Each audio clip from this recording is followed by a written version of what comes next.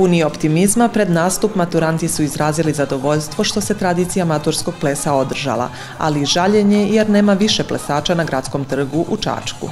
Iz mog odljenja se par dječaka prijavilo, što je glupo, smatram da je to mnogo lepa stvar i eto, došli smo sada da pokažemo šta smo to naučili. Pa najviše smo vežbali valcer i, i, ča, ča, tako da smatram da ćemo se u tome najbolje prikazati.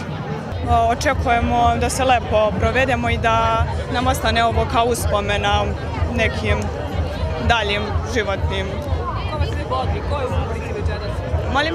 Ko vas se vodi? Ko je u publici večeras? drugarica, društvo iz srednje škole, osnovne škole, mama, tata, to je to. Čemu ste najbolji? Šta je vaš favorit? Koji ples?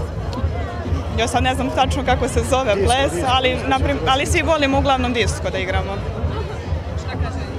Pa disko, disko također. Bliski rođaci maturanata bili su najvernija publika. Pružali su im podršku uz puno pomešanih emocija. Lepo je stvarno videti sve ovo ovde i nemam šta da kažem. Jesmo mi matori, ali uživamo ovde s njima. Ovo je najlepša manifestacija u toku godine što se dešava. Znači kad vidimo ples i kad vidimo mladost.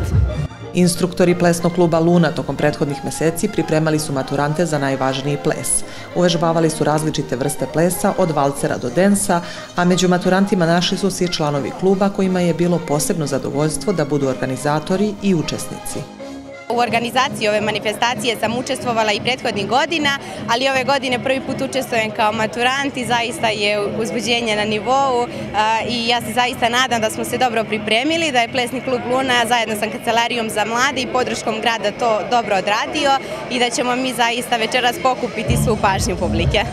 Mi radimo malo drugačiji koncept i malo ovaj, više plesova nego što je uobičajeno u ostalim gradovima za maturski ples. Pored tog standardnog maturskog plesa, oni će odigrati i ča-ča-ča, i bečki valcer, i disko, tako da mislim da će ovo biti e, šarenoliko, plesno, e, sa puno osmeha, sa puno radosti, oni su srećni, oni su euforični.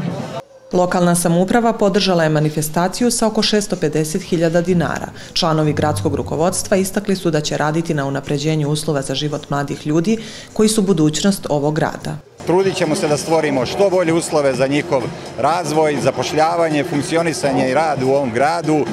Ono što smo radili u prethodnim godinama mislim da je zabeleženo da je svima njima jasno i da će sa ponosom kada završe fakultete vratiti se u svoj grad, da ovde rade, razvijaju svoj biznis i svoje porodice. Devetogodišnja tradicija maturskog plesa prekinuta je samo prošle godine zbog nepovoljne epidemijske situacije. Učesnici ovogodišnje manifestacije poželjeli su da njihov ples na najlepši način najavi vreme bez maski, distance i bilo kakvog ograničenja slobode.